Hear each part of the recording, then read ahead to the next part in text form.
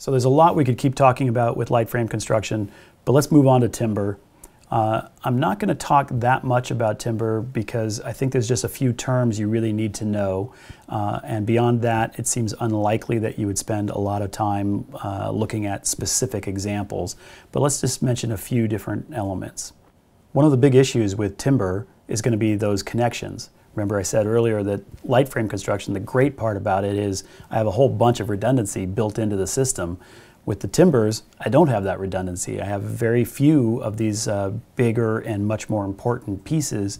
And so the specific way that each one is actually connected becomes very important. One of the nails isn't quite nailed in right in the light frame construction, it really doesn't matter. Uh, if one of the connections in a timber frame situation isn't done right, well, that means that corner of the building just fell down. So really thinking through how those things work becomes actually really quite important. So imagine you have, say, an 8 by 8 column, and you're going to have a beam coming into that column. You know, how would you make that connection? Well, typically the way you'd make that connection would be with a steel angle maybe and some uh, steel plates and you would tie the whole thing together. You'd sort of put it near each other and then you'd bolt it, the whole thing together. But uh, from a timber standpoint, it might be that you would actually create something like that and then you'd create a hole in the column and you would stick the beam into the column and have it be sort of solidly connected.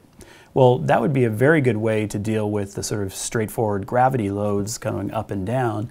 But what if something was pulling it out of the hole? How would you deal with that? Well, I might have a hole that I would drill all the way through, including through there. And then when I stuck that thing in, I would then take a peg and hammer that peg right through and that would go through both the column and this little tooth of the beam and it would hold it all together. So I might actually have multiple pegs. It would depend on what the structural system uh, was needing to withstand. Uh, it could be a very beautiful and complicated thing. It could be hidden. Uh, there's a bunch of different ways that this thing could go but you're looking for these very carefully thought through uh, systems that allow for the movement of each of the individual pieces, uh, but also that it can't pull itself apart. It can't uh, expand a little bit every year and just sort of pull itself out of that slot.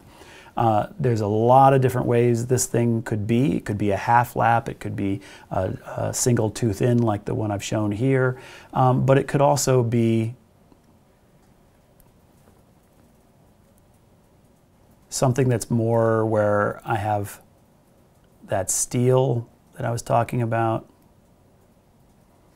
lag bolting that in, placing the beam on top,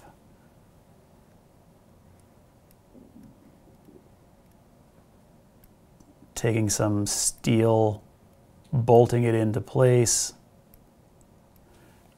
On the side, maybe a steel plate, uh, you know, so this can be done in a sort of dramatic way where we're adding all of these different things, but we have to find a way to make these big connections be solid connections, have uh, easy to, to assemble. So there's got to be a place where it can bear while we uh, are kind of getting everything kind of put together, and believable in terms of how it's being put together. That it's actually something that could be done uh, up in the air uh, as well as has some beauty and interest to it. You wouldn't do timber construction if there wasn't some desire for that uh, special quality that the timbers have. There's something about wood and especially big pieces of wood that uh, very desirable. People enjoy quite a bit. So once we start thinking about how this beam and this column start going together, well, clearly this could become much more complicated if I have beams coming in the other direction. I have a much more complicated set of uh, interactions.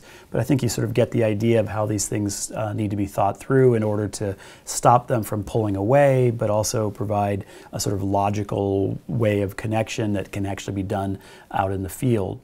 Uh, under the light frame construction, I then have uh, joists every 16 inches, and that's certainly possible. I could uh, have joists that sit up on top of something like this and then put a floor up on top of that. And that happens sometimes, but that would be a little unusual. And so I'm going to try a different version. And that different version is I'm going to take decking material,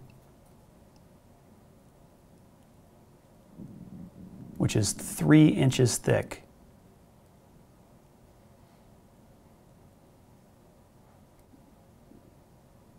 And it's tongue and groove.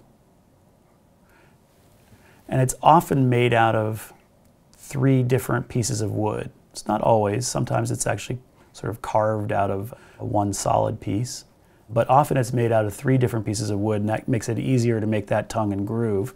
Uh, and then uh, that allows us to just have this wood decking. And that wood decking can span pretty far, especially because it's tongue and groove.